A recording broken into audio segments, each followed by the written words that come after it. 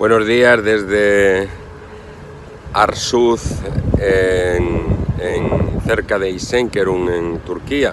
Ahí seguimos trabajando. Ayer ya cogimos ritmo de crucero y hemos pasado más de 250 pacientes diarios.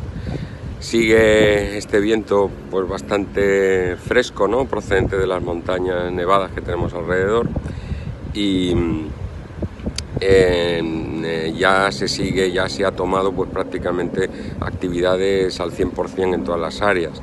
En curas sobre todo, que aparecen muchas heridas procedentes del terremoto, infectadas, no bien curadas y después también pues en la zona de fisioterapia, en la zona de ginecología prácticamente eh, se llena de mujeres que no han podido hacer sus, sus consultas obstétricas por falta de, oferta sanitaria ¿no? en la zona. Ya se van a empezar a abrir algunos hospitales privados y algún hospital público parcialmente y bueno, nosotros vamos a seguir este ritmo que parece que va increciendo. Por otra parte ya han empezado a aparecer algunas enfermedades infecciosas, ¿no? algunas enfermedades intestinales y alguna dermatológica y también continúa el brote de sarna en alguna de las zonas que, tienen los, los inmigrantes. Esto es lo, lo, habitual en una catástrofe de estas cuando la gente tiene que seguir durmiendo en sus coches o en cualquier habitáculo.